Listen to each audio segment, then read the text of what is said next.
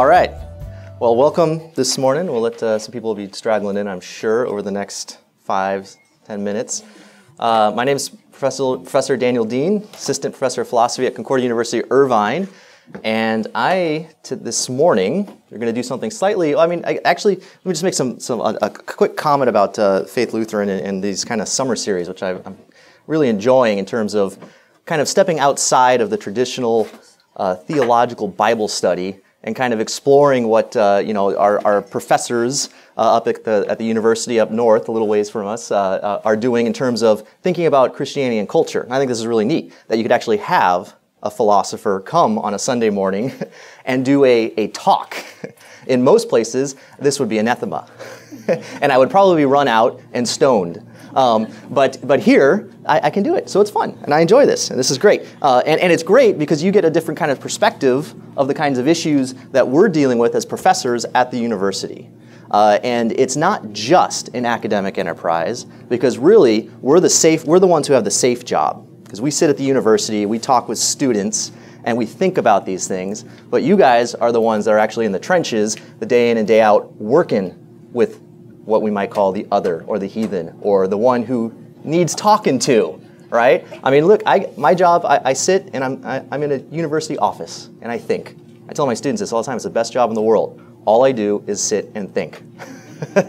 you guys have to do stuff and if our job as professors aren't helping equip you to have these kinds of discussions in the public sphere, then we are failing.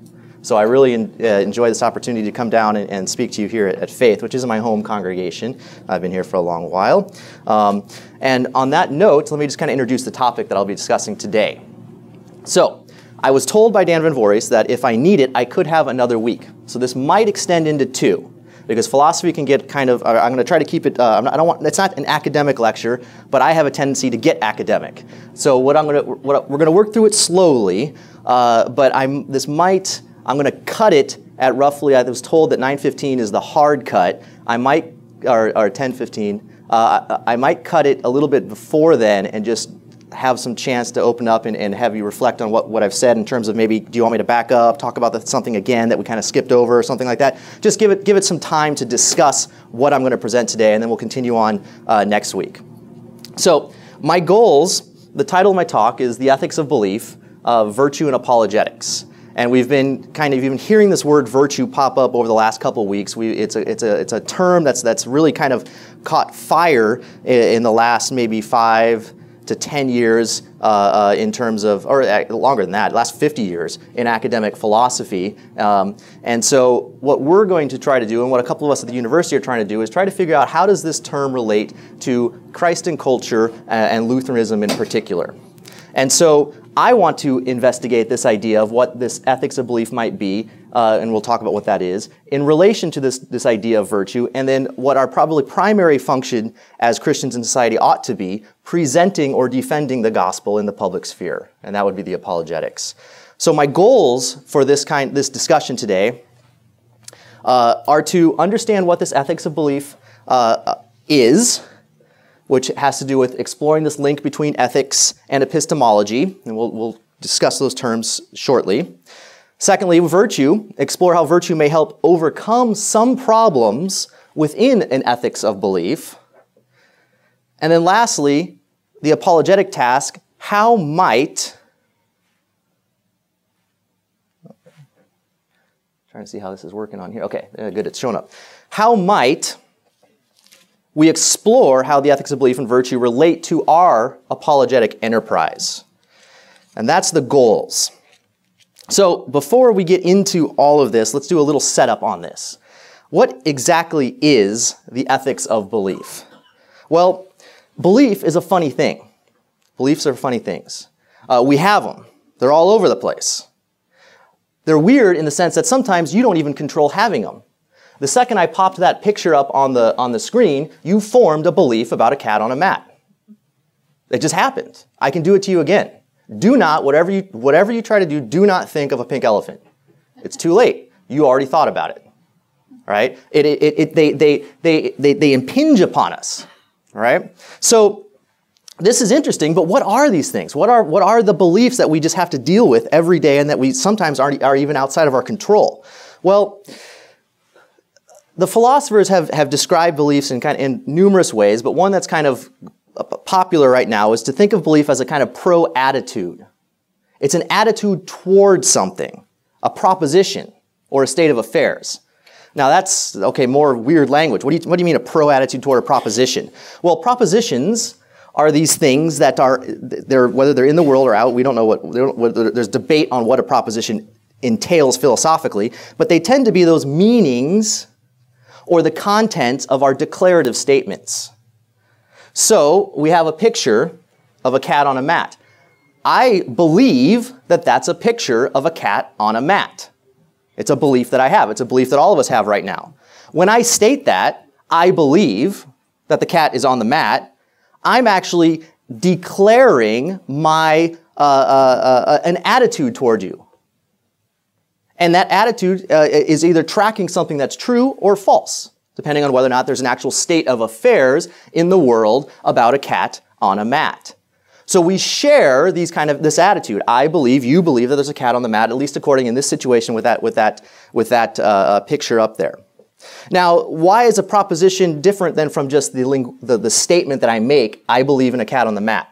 Well, because there's numerous ways that we can capture the proposition re- representing a cat on a mat.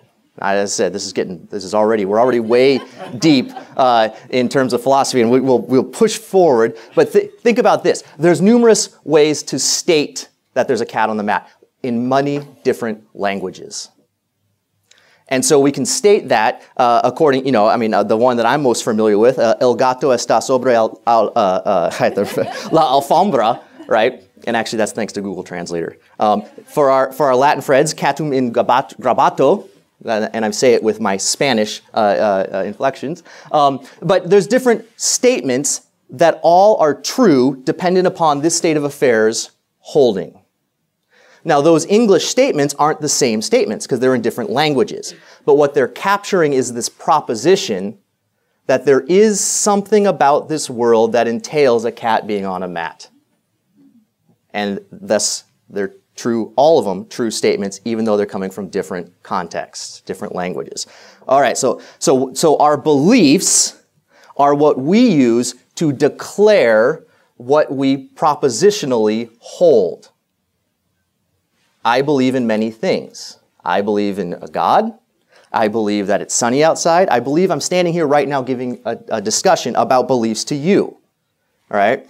So these, the only way you, I can let you into my world of belief is to declare them. And we do that through propositional attitudes. Uh, now, propositional attitudes are much larger than beliefs. They also include wants, needs, desires, hopes, fears. You know, any, basically, the way to identify a propositional attitude is it's I something that. I believe that.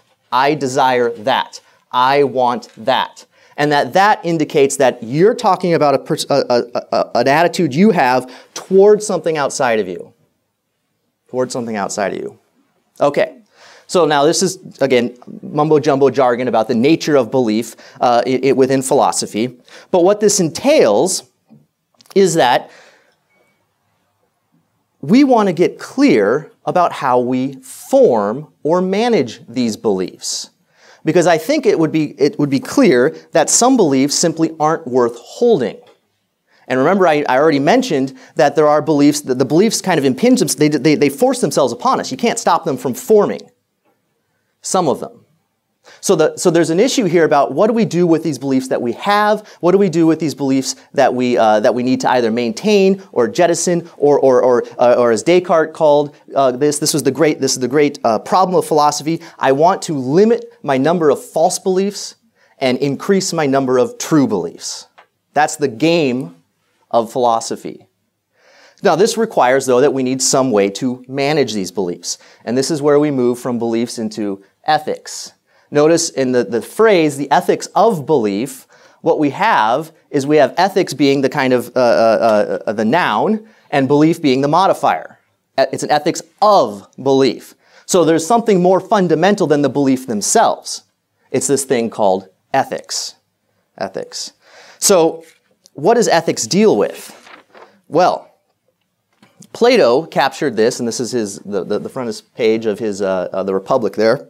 Plato captured this in terms of thinking that the, the idea of ethics is the most fundamental question of philosophy. And he captured it this way through the mouth of Socrates We are discussing no small matter, but how we ought to live. How we ought to live. Now, that word, uh, uh, ought, is a kind of funny word. We tend to use this word uh, very colloquially in terms of saying, you know, well, this is like the, you know, the mother uh, or the father to his son, you know, mom's coming home, you ought to clean your room, right? Now, that's kind of suggestive, right? You don't have to, and there's ways we can fake it, uh, but you ought to clean it. Now, that's a lighter sense of this word ought than what the philosophers entailing when they talk about how we ought to live. Ought, for the philosopher, in a kind of more, in a moral sense, in its ethical sense, it delineates obligation. It tells us what we ought to do and what we ought not to do. And this is Ten Commandments type thinking here, right? Thou ought not kill, murder. That's a, that's a normative, uh, ethical guide for what it means to be a moral person, grounding kind of moral obligations. Now, we as Lutherans get very tense when we start hearing this kind of language for very good reason, but let's, let's move forward uh, a little bit here. One thing to notice about this idea, Socrates' phrase is how we ought to live, is that this idea of living comes in many varieties, right? What do we do as people? Well, we, we think we are deeply moral or religious people, even if we're not good at it. But we're also people, we're, as Descartes says, think, we're thinking things, we're feeling things, we're economic creatures. We're creatures of habit. We have all these kinds of, uh, uh, uh of traits that bound, bind us up as being human. So, how ought we to live is actually going to fragment into what aspect of life we're going to talk about. There are moral norms. There are epistemic, knowledge based norms. What ought I to believe and how ought I to believe them? What warrants or justifies my belief? There are aesthetic norms. Right? What are aesthetic norms? Well, what are, what are the norms guiding the, the idea of beauty? What makes a painting beautiful or a song beautiful? I mean, we all deal with this because you listen, you know, depending on, on the, your age here, we look back 20 years and say, I can't believe what these kids are listening to, right? Uh, and I look forward and I say, I, I look further back because I can't believe what my parents listened to. Uh, you know, there's, these, are, these are norms that are guiding our kind of aesthetic experience. So, so the norms are, are, are fragmented, and what we have in the ethics of belief is this idea that we want to decipher what norms or obligations we have in terms of belief formation and maintenance. Assuming true belief is valuable, how ought we to structure our cognitive lives, our minds, such that we operate according to the norms which provide the best means to attain our epistemic aims, or our aims about the world, our aims about knowing things about the world? And this is foundational to all thinking and living. So, I just mentioned that the, these norms tend to fragment. Uh, and, and, this is, this is, uh, this is going to be a, a major player in, in, kind of my discussion as we move forward a little bit in terms of why it is that they fragmented and maybe why that's not such a great way to uh, investigate or think about the idea of normativity or an ethics of belief. But to get to see how even maybe uh, in its most recent past, in the kind of locus classicus of, of the ethics of belief, uh, we have this guy named W.K. Clifford. And he's, he's one that didn't necessarily separate out the epistemic norms from the moral norms. He brings them together. So he was an English mathematician and philosopher.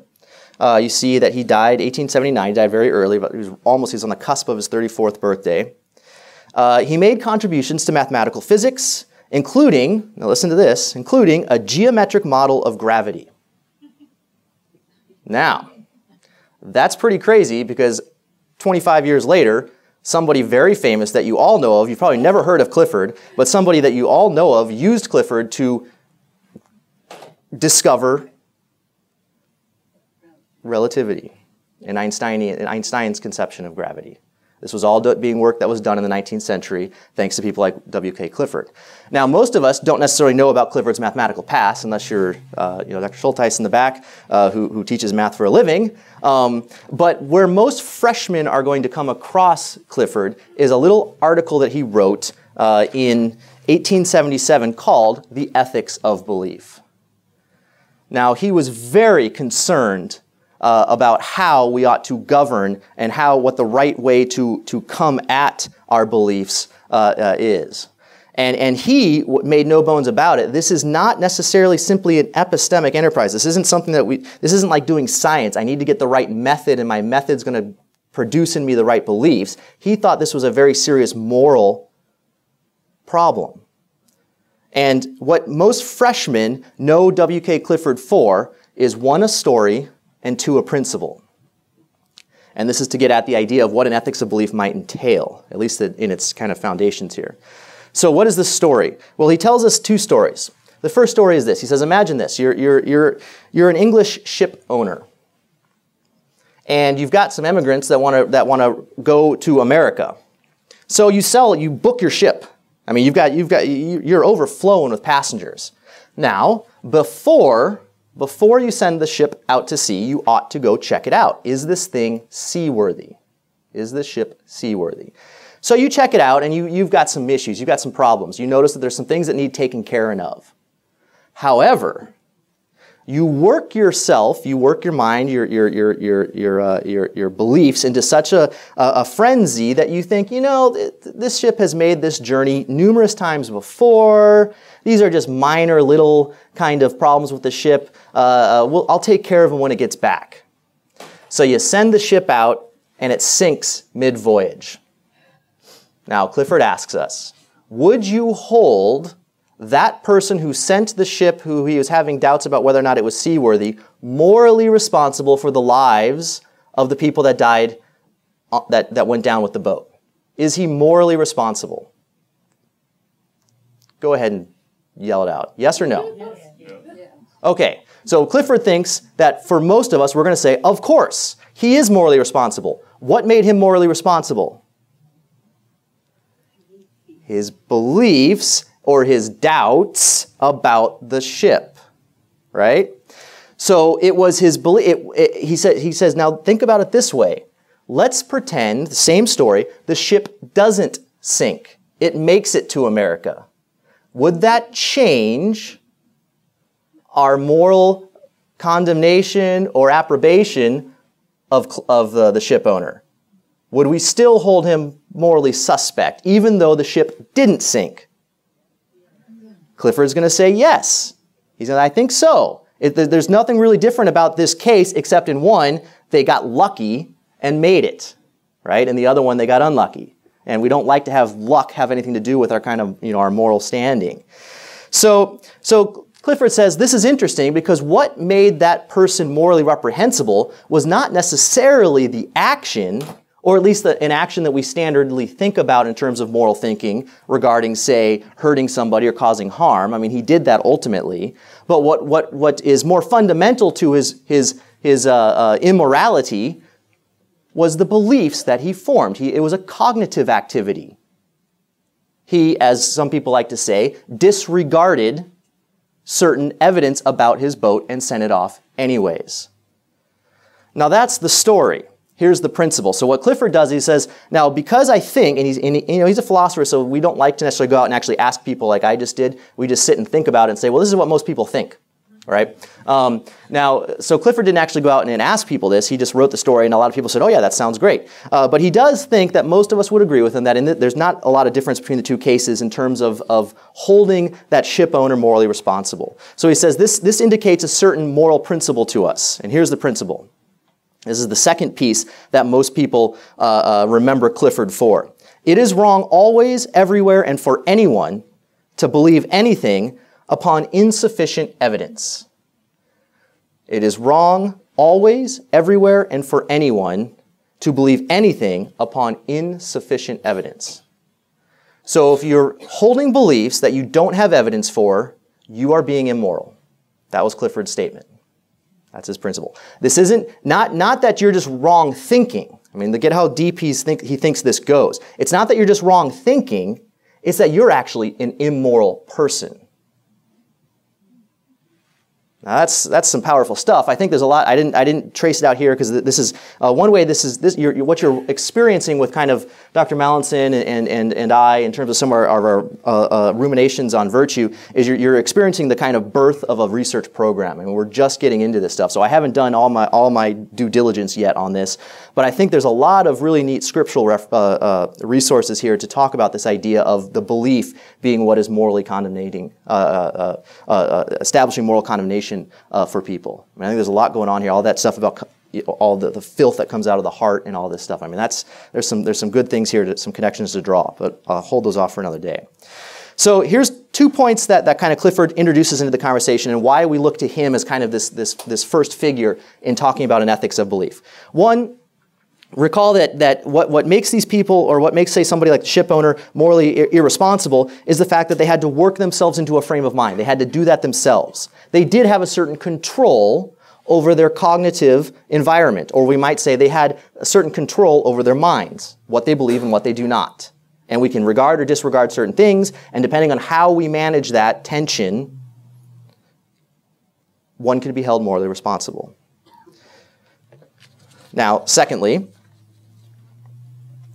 that working of, well, I, we, I ran these together, but that working of the mind does have moral implications for us has moral implications. Okay, so so so great. So that's William James. You know, he's won the day. Uh, he he. We, we end up getting a position out of his, out of uh, uh, following from his tradition called evidentialism uh, in philosophy of religion. Um, but uh, he wasn't alone. People took umbrage with, with his claim, and one of the more famous ones was this guy named William James. So if you open up any kind of introductory to philosophy textbook, you're going to get to a section where you have William James squared off with or uh, Clifford squared off with William James and they're just going to butt heads. And the professors love to use these guys to, to, to pit each other against each other, uh, to pit themselves against each other, uh, because they, they really do kind of come at different aspects of this idea of what it means to have, form, maintain our beliefs, the things that we hold true. So, so what is William James? Well, he was a, a philosopher and psychologist. Did, spent most of his career at Harvard. He was part of the trifecta of American pragmatism in the early, early 20th century. I mean, if America has anything to to uh, uh, um, donate to the uh, history of philosophy, it is pragmatism. I mean, this is, this is our tradition. Not necessarily the tradition I'm swimming in, but this is the American tradition. Uh, it starts, it doesn't start, but the early founding father, Ch- Charles Sanders Peirce, uh, followed quickly by William James, and then ultimately kind of, uh, you know, the, the, the, the, one everyone knows, John Dewey, right? And, and James defended religious belief father was, was a, probably, I'd imagine, a strict Calvinist, but of a Calvinist of some sort. And he defended, defended religious belief, but he defended it on not evidential grounds, the way, say, uh, uh, Clifford would, but on pragmatic or prudential grounds. Now, there's these other norms coming into play. So Clifford really pushes hard this idea of evidence. You don't believe anything unless you have sufficient evidence. James pushes a more pragmatic norm, or what I call a prudential norm, which has to do with living life well. What's going to make you happy? And, and your happiness guides a lot of the way you structure your life. There's reasons why you don't eat at certain restaurants. It's not just because you don't like the food, it's because it doesn't make you happy, right? And there's reasons why you do certain things. You go for walks in the morning or in the evening because these things make you laugh. And you structure your life around what makes you happy. So James says, look, the religious person, they might not have any evidence for their, their beliefs at all, but if it makes them happy and it's pragmatically uh, useful to them, then why not let them believe? They have a right to believe even upon insufficient evidence. Even on insufficient evidence. He called, uh, and I, I, will butcher this, uh, but he called Clifford the enfant terrible. Terrible, right?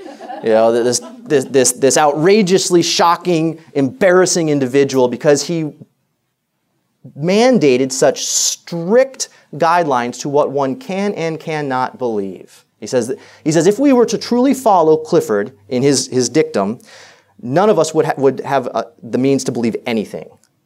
Because think about how many just beliefs that one carries around that we don't actually ever think about what evidence we have for it. Right? So William James, he says he, realized that Clifford's principle and thus his moral stance was too stringent. We hold many beliefs for which we have not gained this sufficient evidence, and furthermore, James believes that there is an empirical fact here. When we look at the way people actually form beliefs, rarely does evidence come into the equation. Really, what's at root of forming our, our kind of uh, the beliefs that we hold is what he calls our passional nature. Right? So here we have an interesting division between our two thinkers on the ethics of belief. One is going to be very kind of rationalistic, what we might call reasonable. This would be W.K. Clifford. The other one's going to be much more uh, emotive, or as he likes to say in a nice fancy word uh, that doesn't exist, uh, passional. Right? So you got, you got reason and emotions playing two sides of this kind of uh, normative coin in thinking about the ethics of belief. Now, for, for Clifford, he says this is, this is what he thinks his, his famous essay is called The Will to Believe. Uh, this was 1896. It was unfortunate that Clifford had died so young because these guys would have had, I think, I think they would have provided, because they did their, their philosophy kind of in the public sphere, uh, I think these two guys would have provided some very nice back and forth over this issue. But unfortunately, James carries the day because Clifford died, and he died too young. Uh, they, did, they would have overlapped uh, more had, the, had Clifford uh, not contracted tuberculosis. Um, here's what, here's what, what, what James says in The Will to Believe. He says, here's the, the, whole, the whole thesis of the essay. I mean an essay uh, in justification of faith, justification of faith, a defense of our right to adopt a believing attitude in religious matters in spite of the fact that our merely logical intellect may not have been coerced. So, in spite of the fact that our minds intellectually cannot grab religious belief, we have a right to believe it. We have a right to believe it. And his famous then, this would be, if, if everyone remembers Clifford for a, a story and a, uh, a, a, principle, here's what most people remember James, more, most freshmen remember James for. Uh, a belief is a genuine option when it is forced, living, and momentous right? So what does that mean? Well, a forced uh, a belief is a genuine option. So choice between belief, you have a genuine option. N- evidence doesn't come in into this, this discussion at all. What does is the idea of a forced belief, meaning that you have to choose. It's live, meaning it's actually a live possibility for you. And thirdly, it's momentous. It has some kind of deep existential, uh, it hits you at some deep existential level. It hits you at, it hits you at the core of your being. Uh, now, what are his examples? He gives some really silly ones, like like whether or not I take an umbrella outside. Uh, I don't I don't quite follow exactly what he was after there, uh, but we could think about this in terms of what is a forced what is a forced choice between belief? Well, imagine you're walking outside and it starts downpouring, right? That environment forces you to make a certain belief, or, or it causes you to form I want to get out of the rain or I don't want to get out of the rain. I either keep going or I don't. But regardless of what you decide, which belief you go with, it's going to force you to make a belief either way. You probably don't want to make this, this choice in beliefs, but you have to. That's the idea of forced. A living, uh, he, he does have a nice things to say about this. He says, look, there's a difference between a live and a dead belief. A live belief is one that we've that usually given to us from our upbringing and our culture and things like that are ones that are actually uh, uh, uh options for us. For most of us, becoming uh, uh, Islamic is not a live option. It's not a live option for, for probably any of us. Now, becoming agnostic might be a bit more realistic, right? Yeah, I mean, not, maybe not in this room, because you guys are all good, pious Christians. But I mean, that, for, for somebody who's been raised Christian, it, the, the, the, li- the, more live option would be becoming an agnostic before jumping from Christianity into, into uh, Muslim, uh, Islam, right? Because that's just not a live option. It's a dead option because of the way we've kind of been uh, uh, uh enculturated. And momentous obviously has to do with this idea that uh, it, it, it, hits us deep. It hits us deeply. So obviously, um, you know, counting. Uh, here's here's one from kind of science research. You know, what do scientists do? Well, if I if I if I talk to a scientist and I say, well, look, uh, all your what do you do? He says, I count the blades of grass outside on the university lawn every day. That's a good scientific fact. And that's one that we can really actually validate and verify. He knows exactly how many blades of grass are outside on the university lawn. But do we really want our tax dollars going for that kind of research? No, because who cares, right? Now, if he's talking about cancer research, that's slightly more momentous. That hits us at a deeper level than simply going outside and counting uh, blades of grass I, they probably wouldn't say that. What they'd say today is, what I do is I uh, take some fruit flies, I, I, cut them up, I jiggle them in a bottle, and then I count their genetic makeup. Uh, that would be the equivalent of the kind of uh, uh, um, grass counter. All right, so so here's two points then to pull from Clifford. I'm sorry, from James, and we'll, then we're gonna we're gonna move forward on this, so we get out. We can at least start maybe getting into virtue. One thing to note about, about what Clifford says here, I'm just going to read a couple quotes from him. He says this passions or emotions are part of this deliberative procedure. So, within the kind of classical philosophical tradition, reason is always set against emotion. James brings that right back in. He says, Look, we got something going on where we as humans are both reasonable and emotional. Emotional? It's not really a word. But uh, uh, we, we struggle with this, and this impacts the way we deliberate about the beliefs that we hold or maintain. So, something about us emotionally is going to influence the beliefs we form. Or he says this: Our passional nature not only uh, our passional nature not only lawfully may, but must decide an option between propositions. Whenever it is a genuine option, that cannot, that cannot by its nature be decided on intellectual grounds. He's following uh, another famous philosopher here, David Hume, in, in saying things of that nature. Secondly, so Clifford and James are going to, are going to, to separate on this idea of what's going to ground uh, our beliefs, whether it be evidence or our emotions. However, they do kind of come together in this ethic idea and how we, how we manage or how we uh, uh, ought to go about in, uh, uh, believing. Because here's what, here's what uh, James says I live by the practical faith that we must go on experiencing and thinking over our experience, for only thus can our opinions grow more true. But to hold any one of them as if it never could be reinterpreted or corrigible, I believe to be a tremendously mistaken attitude. Okay, so James, you've just redeemed yourself a little bit. You might, you might think that there, you, you, might think there's more going on in terms of our belief formation with emotions than I'd like, but at least you're willing to say, look, everything, every belief that we have is revisable. Everything that we take to be true can be questioned and ought to be questioned. There's that funny ought word again. It's the only way for us to approach or to get at to, or as he says, grow our opinions more true. Now, th- in this, he's really not that much different from Clifford.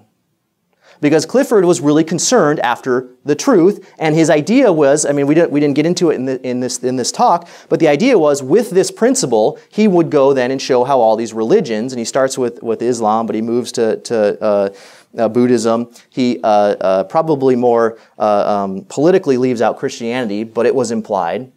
Uh, but he goes and he challenges the one's authorities that they have, saying you don't have, you don't have sufficient evidence to make the claims you're making about life, love, happiness, or the good, the true, and the beautiful. In the classic philosophy, you just don't have it. Your beliefs break down at some point. Well, James is saying the same thing. Our beliefs break down at some point. And the only way to push forward is to have the courage to investigate what it is we believe and why we believe it. What it is we believe and why we believe it.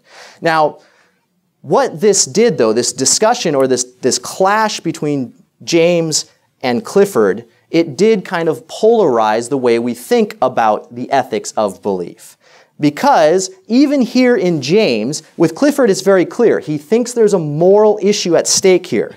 But already in James, what we're seeing is a slide away from discussion of what we would kind of consider traditional morality. What is the good? And am I, am I a moral person? To a discussion that's more based around simply talking about our beliefs with no link back to what our moral, uh, how our beliefs might impact our moral status as humans.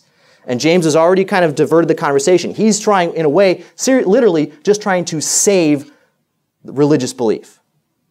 He's just trying to save it, making it okay for you. He's trying to carve out a, a piece of property for us to live on as Christians. And so he's not too concerned with the moral question. He just wants to give us, as he says, the right to believe in Christianity. Now, this gets developed in, in, in you know, so if, if, if Clifford and his evidentialism, or Clifford and his, his principle of evidence, uh, leads to the development of this, this, this idea called evidentialism, meaning we can't hold any beliefs without, uh, that don't have sufficient evidence. James develops what we might call a fideism. I mean, not James himself, and it would be wrong to call him a fideist. This is one who just take, there, there can't be any evidence for our beliefs, we just take them on faith. Right? Uh, James wouldn't say that, he wouldn't go that far, uh, but, but philosophers of religion have taken James's discussion and pushed it into a more fideistic kind of understanding of Christianity. I can't give you any reasons for belief in Christianity. Just believe. We've all heard these kinds of things probably before. We actually, I mean, our pastors do a really great job of, of, of, of putting this in context when they're preaching from the pulpit. Because in a way, this is what the scripture says. What the scripture says. So James uh, uh, carved a space out for people like Alvin Plantinga, uh, uh, who, and, and, people like uh, philosophers up at, at Biola University to really investigate what a reasonable Christianity might look like without having to provide evidence for Christianity. Two strands of thinking. So, linking this back and then pushing forward to some of the conversations I think we've had in, in the past in, in this, this, this discussion uh, or in this, this Sunday school hour with uh, some of the stuff on postmodernity, what we see in this debate is really the kind of preludes, the preludes to postmodernity. Now, I, I, chose this house, so this is an odd house, because this, it's really going to, to help exhibit the different kinds of norms that are, that are at stake. The problem of postmodernity, uh, as I think I understand it from conversations with some of my colleagues, really has to do with a loss of which authority and which norms do we follow at any given time. We find ourselves in a radically pluralistic society, a radically pluralistic uh, uh, nation, and they're all bombarding us with different belief systems, different norms. So which ones, which ones do we go with? Well, there are traditionally, uh, and, and these, these are just the tradition, traditional ones I pulled out, there's traditionally three. There's the epistemic, the prudential, and the moral. And we've already kind of discussed uh, these. You know, but we can to see how all these different kinds of, of, of, norms really kind of impinge upon us daily. If we think about this house, this is I don't know where this is. I just found this on, on the internet, but it reminds me of some of the stuff that I used to see uh, at Florida State University when we drive out into the uh, the swamp. Um, but uh, oh, I can I can look at it here. There it is. Um, so what, what you got is you, you got this house that looks like it's literally built on the water. It's built on the bayou, right? Now, how many of us would want to live there? This is this is a tough one for, for you Southern California folk. Uh, there there might be some some some Southern uh, uh, uh, migrants who would love to go back to this. Um, you know, if you can read the sign on the on the right, this is probably where they keep their their airboat, and and it says uh, "Life is good," and it's got a gator. Uh, drinking some sort of beverage um, and, and hanging out on his swamp. Now, epistemically, I want to know some things about this house, right? I want to know how this house is constructed. I want to know whether or not uh, uh, uh, what, what's going on in terms of whether this, this house is going to get flooded. There's certain things I need to know about this house. Now, I, I use this because this is far away from us, but we do the same thing here in California, right? Uh, there's a wonderful house that I see every day now. Well, not every day. I used to see it every day when I used to go to the beach. Uh, driving down Crown Valley, uh, the, the, the, back of the, ho- the house is sliding off into Crown Valley. They chose poorly or they did something to their, their hillside and, and they did something bad because their house is sliding into the street. Um, not a good thing. Epistemically, I want to know certain things about the place I choose to live. So, I, so I'm, I'm guiding myself by, by epistemic norms. But which ones? Do I go with James? I kind of like the location. I can fish off of my porch. I might get eaten, I will get eaten alive by mosquitoes, but I'm, and I might get eaten by uh, uh, an alligator, but at least I can fish. So I can work my, I, I, can, I can will to believe that I want to live there. Uh, or do we go with James and we start looking at the more evidence for why we ought to live there? Or prudentially, uh, this would be, I'm sorry, Clifford. Prudentially, again, I might like to live there. I love it. it it's a great location. It's nature, right? I can be, I can be, uh, uh this is, this is my Walden Pond, all right? Um, but not all of us, and probably from Southern California, are looking at this going, no, this is not what's going to make me happy. This is not what's going to make me happy. And then morally, I have certain obligations about deciding to live here, right? Ought I, is this going to be someplace where I can have my toddlers running around? They are the right size for alligators, right? I mean, they're, my, my dogs, my kids, everything could disappear in a flash living at that house. So I do have, and I have to structure myself according to certain moral norms about even just common day, everyday decisions about where I ought to live. And the epistemic, the prudential, and the moral are, are, working their way in there. Which ones do I go with? Well, here's where postmodernity really picks up steam because we usually, in some way, shape, or form, our norms to some sort of authority. And unfortunately, uh, what we have uh, in today's uh, uh society is this pluralism of authorities themselves. So not only do we have a pluralism of normativity, what kind of norms ought I use to govern my decisions? Because, hey, if, if it makes you happy, go for it. But then I also got a, a, plural, a plurality of authorities grounding those norms. And there we, we see the, the religious all the time on the back of cars. Uh, we got the political, the societal, or the cultural. This is the bully pulpit idea right? Give me a give me a give me a pulpit, and I'll spew what I think the way things ought to go, right? Uh, and, and and then ultimately nature, nature. Now I, I choose this one, and I don't know if we can really make it out. The reason why I got this odd picture up here is this was a lecture given by Thomas Henry Huxley. This was a lecture given by Thomas Henry Huxley, who was Dar- Darwin's bulldog. And what I thought was so interesting about it is where he was giving this talk. Now, let me just give you talk three. He's talk three. It's on natural history. And the talk he delivered this night, I've never seen this, I've never read it. Dogs and their forefathers. Sounds riveting. Um, uh, actually, with Huxley at the, at, the, at the helm, it probably was. He was a very good public speaker. But, but what I thought was fascinating about this is notice the school. He's not giving this talk to Oxford or Cambridge. He's giving it to the Royal School of Mines on a series devoted to lectures to working men. Lectures to working men. What Huxley was very good at was taking a certain scientific, uh, uh, um, nature driven uh, uh, authority structure and the norms that go with it, and not talking with professors about it, but taking it to what he called the working man.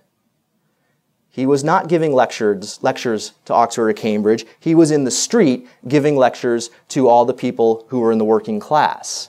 Because he knew if he won them over, things would change. Because there's more of them than there are of the Oxfords and the Cambridge. So so he was smart in this, and, and, and we see this, this, this style still uh, alive and well today. When, I mean, the last talk I gave a while back on New Atheism, this is, this is what the New Atheists do. They're not debating, they're not talking with the, the, the professors.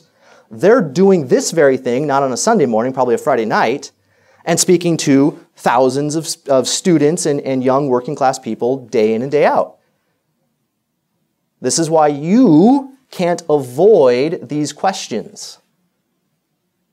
They are coming. You know, if we can put it into that famous uh, now HBO special, winter is coming, uh, and we need to be ready for it. So, this is the preludes, and then we've, we've Dr. Mallinson has previously talked about some, some various ways uh, that uh, uh, we need to we can push forward. So, this does put me. Uh, that clock's right, right? So this puts me at, at roughly 10 minutes left. Now, this does also have a nice break because the next part of the discussion is going to put us into, into virtue. Um, so what I think I will do is, is stop, because we've, we've hit a lot of st stuff. Uh, and I will just kind of open it up for 10, 15 minutes to, to, to any kinds of questions you might have about this thing called the ethics of, of belief. Uh, and, and, the things we've talked about. And of course, I got the two professors in the background uh, all ready to go.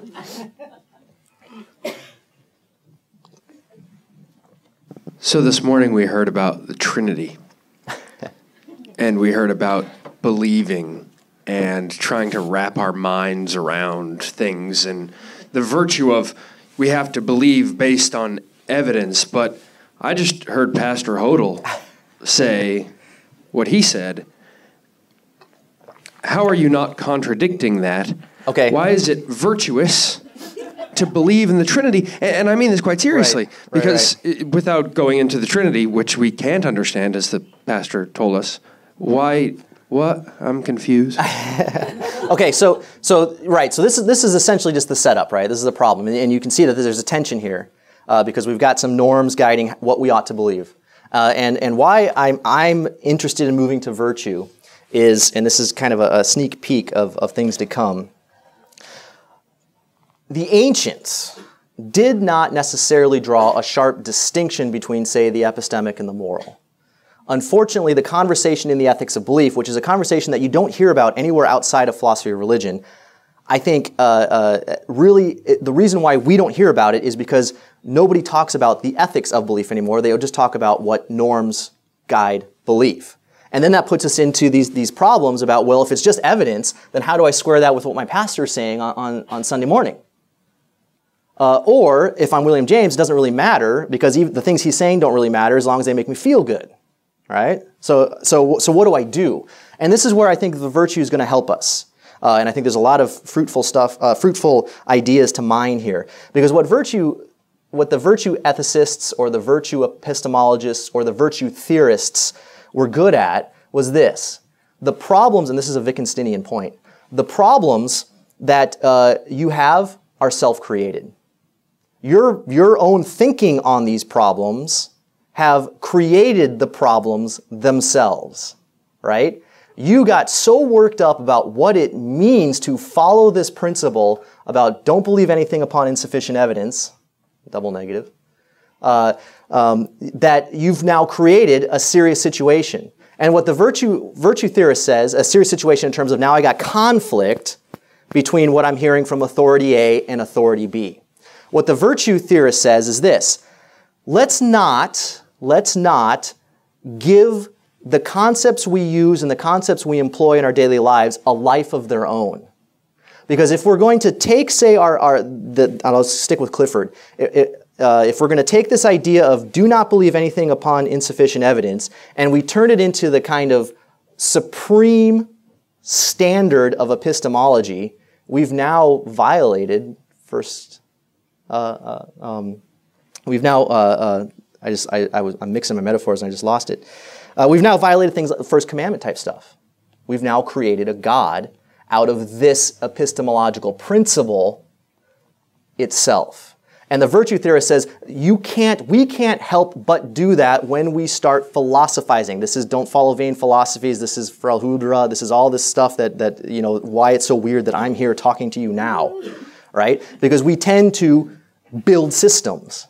And then the system takes precedence over what's really what we really ought to be believing, like God, Christ, and truth. So virtue helps us break some of these barriers down. It refocuses the discussion onto us and the situation that we find ourselves in.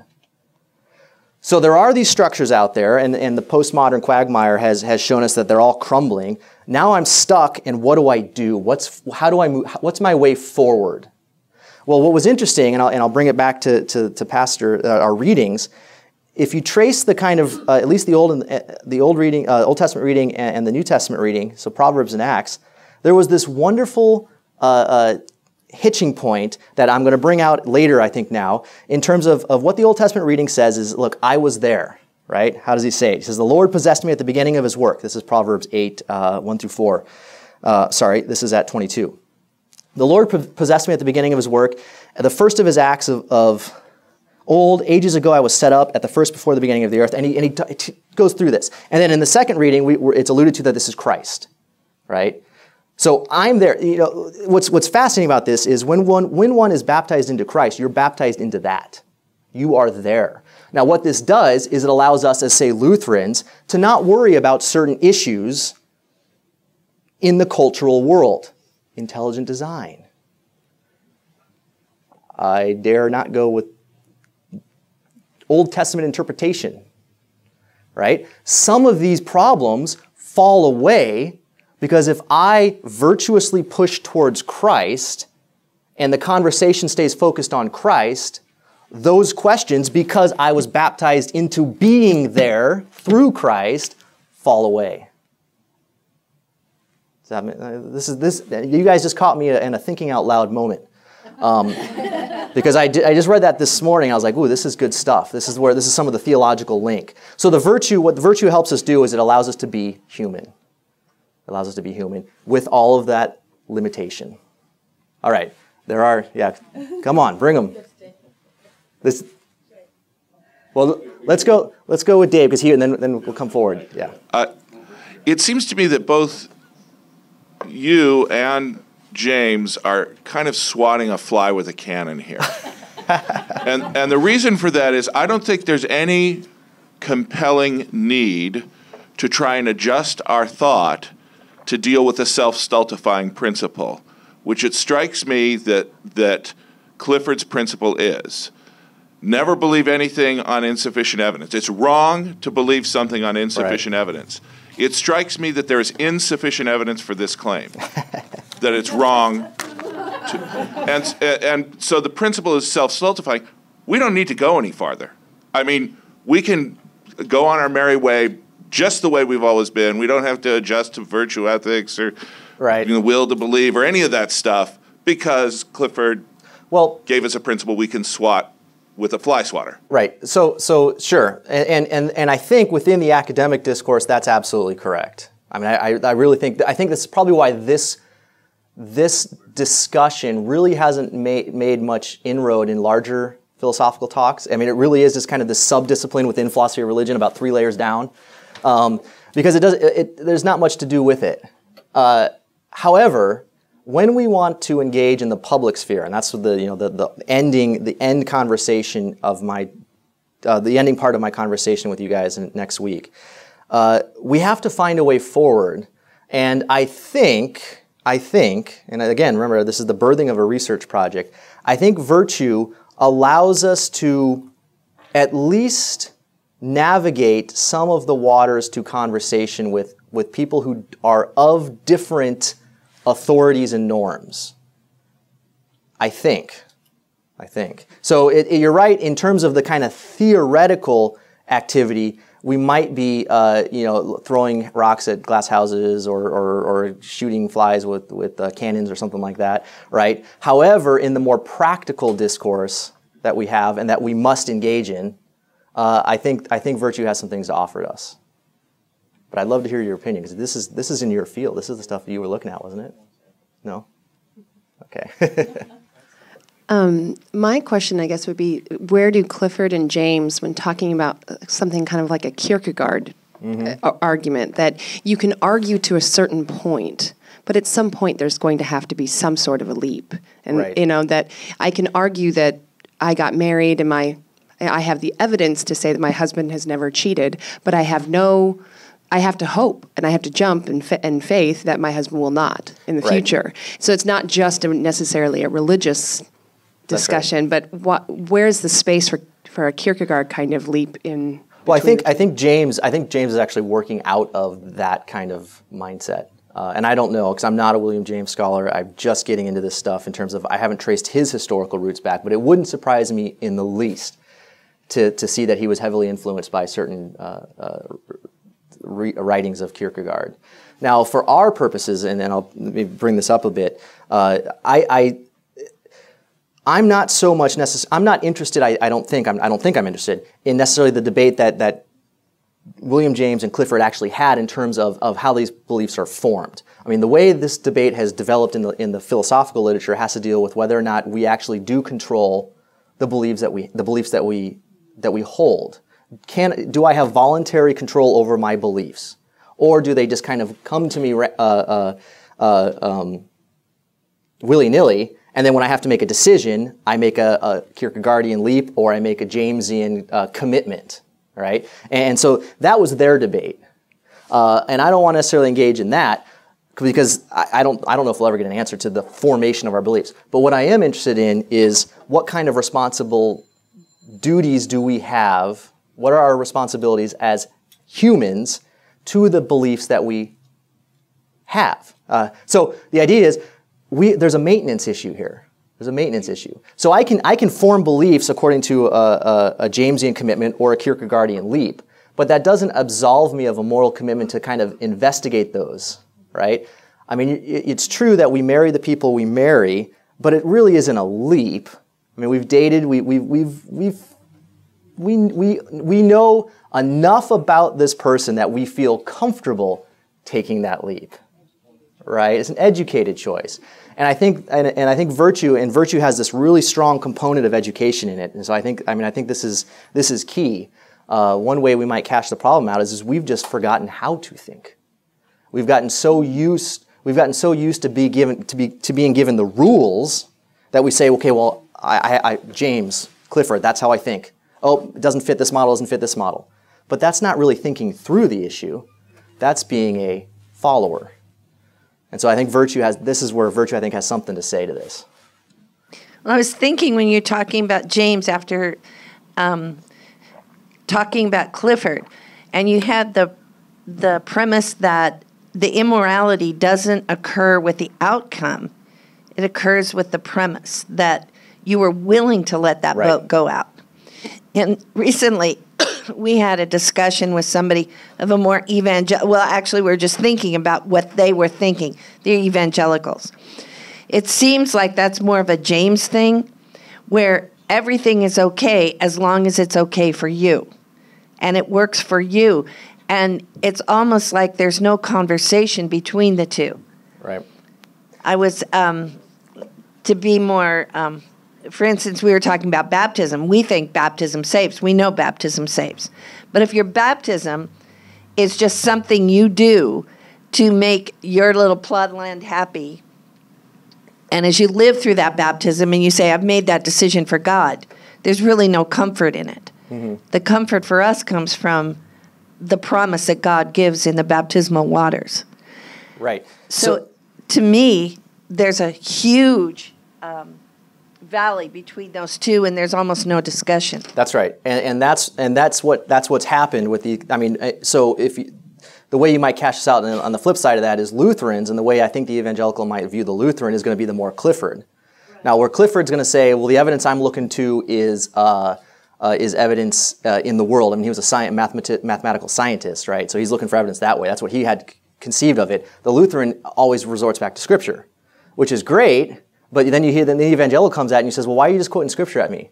Don't you live this life or something? You know, I mean, and they always come at us that way. So the the issue and what got us interested in virtue in the first place is okay, you're right. You've identified that there's this valley.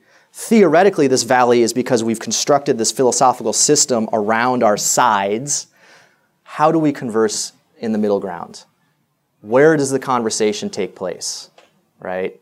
And I can I can sit in my tower and throw rocks, and you can sit in your tower and throw rocks, and what good does that get us? Nothing. Because I'm more concerned with baptizing somebody into this. That's my concern. I don't want to win the fight. I win if somebody uh, can, at least can conceptually take into consideration once in their life the claims of Christ. That's a, that's a win and Dave's given me the stop. So we'll, we'll, we'll come back and finish up with virtue and how it relates to apologetics uh, next Sunday.